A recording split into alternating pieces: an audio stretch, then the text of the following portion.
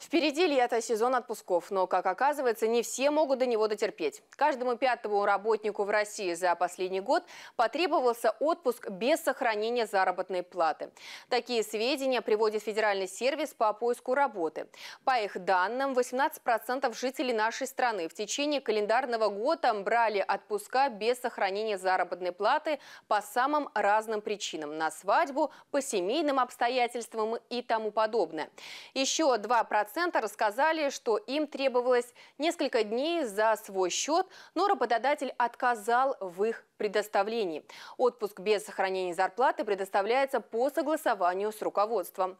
Россияне в возрасте до 34 лет чаще берут отпуск без сохранения заработной платы 29%, по сравнению с теми, кто старше 16 и 17%.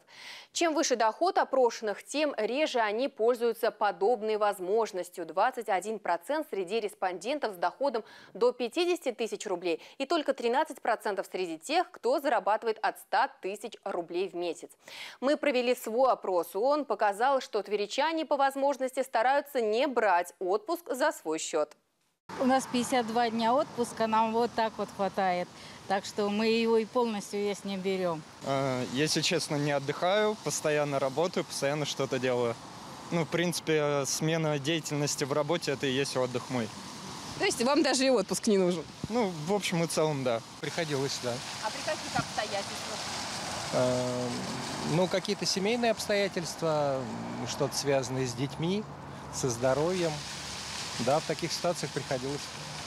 Хватает. Вообще очень редко этим пользуюсь. Нет, нет, нет! Ну, и то, это связано либо со здоровьем родителей, либо близких людей, все.